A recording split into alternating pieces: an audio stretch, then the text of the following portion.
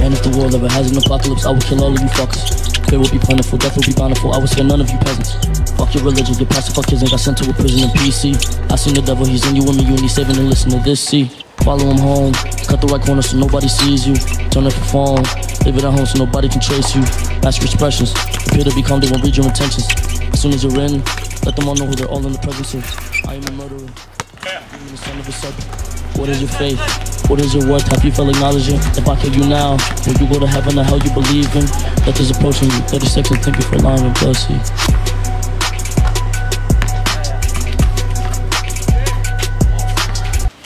Guys, uh, why'd you make that? Never listen to me again. You're shooting every time. All the advice I've ever given you.